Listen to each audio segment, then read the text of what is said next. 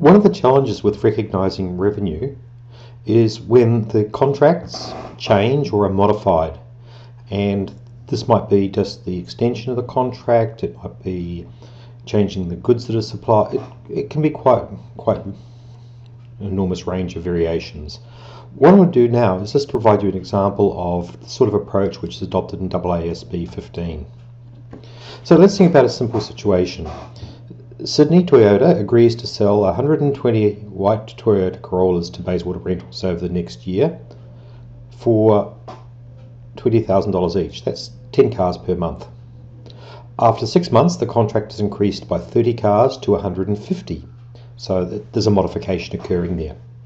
The price for the additional cars is 20,750 and this is the standalone and it's not influenced in any way by the price of the previous contract.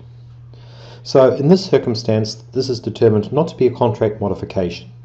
So the first contract stands, and we now have a new contract for 30 cars, an additional 30 cars, at $20,750.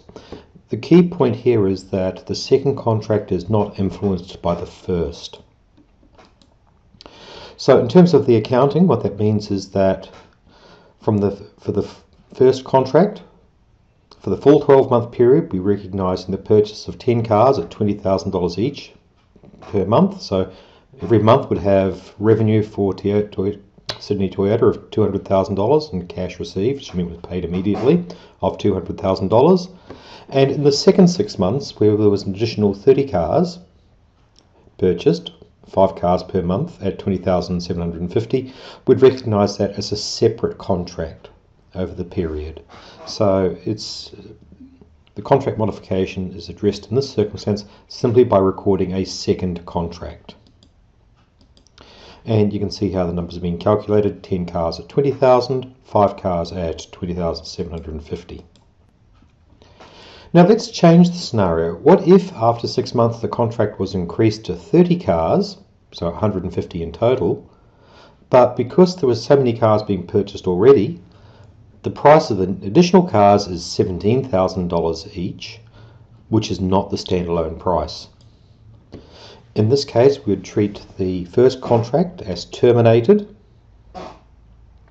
and so we'd recognise revenue for six cars at, at $20,000 for the first six months, and we'd have a second contract for 90 cars at an average of $19,000 each over the second six months.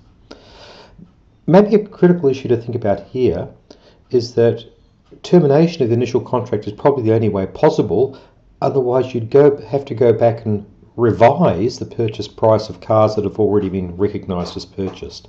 And that's not something that could happen, especially if it was across a year end. So in terms of what the accounting looks like, well, just as before, for the first six months, you'd recognise revenue of $200,000 per month. That's 10 cars at $20,000. And in the second six months, you'd recognise monthly revenue of $285,000. The $200,000 is the 10 cars at $20,000 each, $200,000 per month. The revenue in the second six months periods is 285, which is 15 cars at an average price of $19,000, so that's $285,000.